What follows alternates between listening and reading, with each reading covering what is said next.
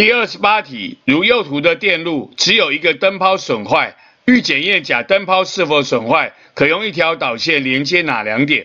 我们首先可以连接我们的 B 珠两点，这样子的话呢，乙跟丙都是短路，不存在。我们就看到，甲如果会亮，就表示甲没有损坏；甲如果不会亮，就表示甲损坏了。所以连接 B 珠可以检验甲灯泡是否损坏，或者我们可以连接 A、B 两点，这个时候甲就不存在。那么如果乙、丙都不亮，就表示有一个是坏的，那么甲就是好的。如果乙、丙都亮了，那就表示它们都是好的，那么甲就是坏的。我们也可以知道甲是否损坏，所以我们可以连接的是 B 珠。或者是连接的是 A、B。